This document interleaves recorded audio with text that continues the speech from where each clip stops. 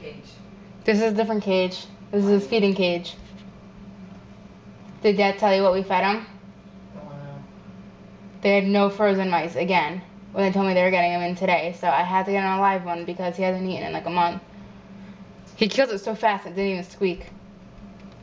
It's dead.